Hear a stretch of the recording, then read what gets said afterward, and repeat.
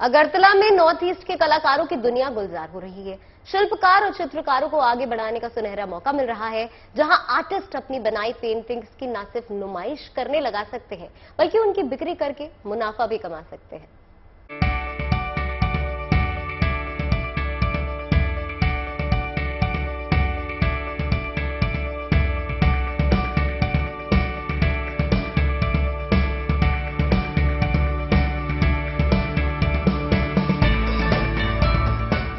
खूबसूरत पेंटिंग अद्भुत मूर्तियों का संग्रह। लकड़ियों पर उकेरी गई कमाल की नक्काशी।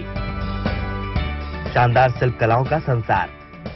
अपने हुनर और कल्पना की उड़ान के बलबूते युवा अपनी कला को धार दे रहे हैं, जिन्हें एक ऐसा मंच मिल चुका है, जहाँ ये न सिर्फ़ अपनी कलाओं का प्रदर्शन कर रहे हैं, बल्कि अपनी ज़िंदगी भी संवार रहे हैं।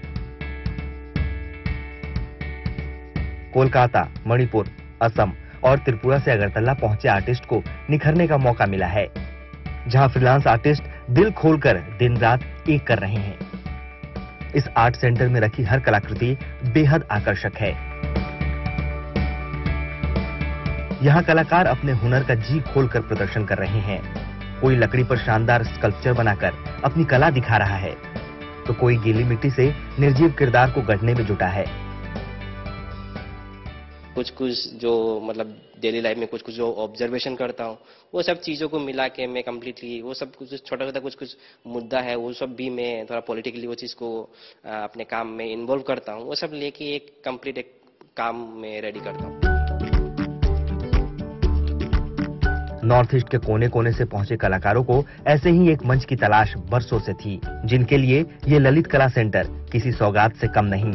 जहाँ इन्हें इस बात की परवाह करने की कोई ज़रूरत नहीं कि इन्होंने कैसी चित्रकारी की है या कैसी मूर्ति बनाई है, बल्कि इन्हें तो बस अपने हुनर को तराशना है।